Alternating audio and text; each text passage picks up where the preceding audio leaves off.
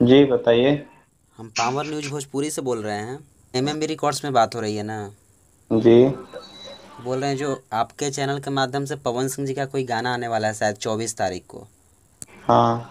तो उसका पोस्टर वगैरह कब तक मतलब छोड़ा जाएगा कुछ अपडेट दीजिए। फैंस बहुत ही ज़्यादा व्याकुल हैं। आज कल में छोड़ा जाएगा बताया जाएगा अपडेट किया जाएगा। अच्छा अच्छा। और गाना को तो चौबीस तारीख को ही रिलीज़ किया जाएगा ना? हाँ चौबीस को रिलीज़ किया जाएगा। अच्छा पोस्टर मतलब आजकल में आ रहा है ना? हम्म।